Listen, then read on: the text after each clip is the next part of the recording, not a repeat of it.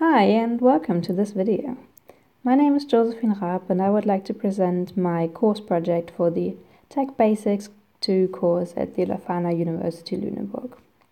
For my final project I created an Android app. This Android app visualizes bus routes on an interactive map.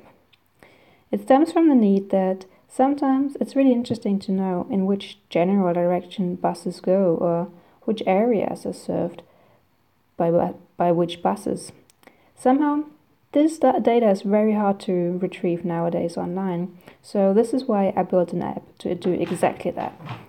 We're working on the example of London, and this is a beta version, so a few functionalities are not available yet, but will be soon.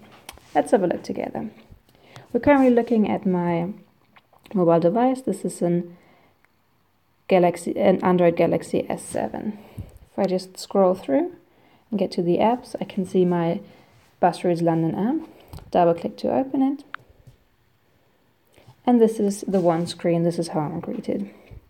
And immediately with at one glance I can see which buses are served by which uh, which areas are served by which buses. Let's say for example I really want to go to East London and just generally want to see what's up there. I can look at this green bus for uh, this blue bus.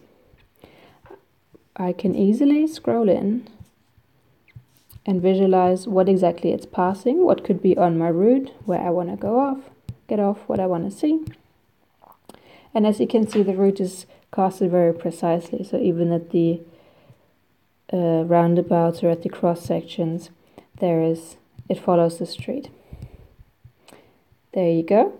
And this is how I find out where this bus terminates. If I click on the marker, it tells me the bus line. And this is the easy way for me to find how to go in this area and what I can see on the way. Obviously this works with the different lines and this is a way to get an overview. This is not an app made for journey planning, but this is a, let's call it a wanderlust app to see, oh, what should happen when I go in this direction.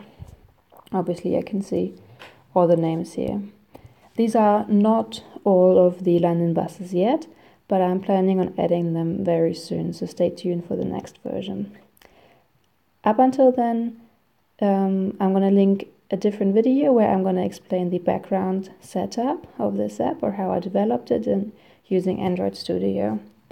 If you have any other comments, please leave them under this video or use the feedback button up here, which will send me a direct email.